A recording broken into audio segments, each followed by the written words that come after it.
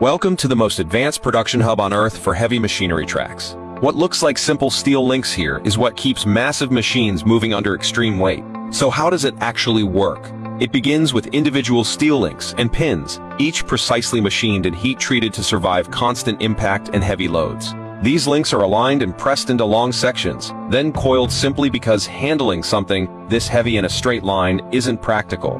Before final assembly, entire sections are lowered into oil baths, not for cleaning, but because every joint needs lubrication, since dry metal under this kind of load wouldn't last long. The links are then pressed, tightened, and adjusted again, making sure each joint is strong enough to hold while still flexible enough to move.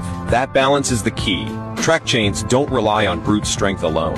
They spread weight across dozens of contact points, allowing massive machines to stay stable on mud, rocks, and uneven ground. Once complete, the chain is lifted as a single unit paired with wheels and rollers and checked under load. What looks like a simple metal loop is actually a carefully tuned system where every link matters.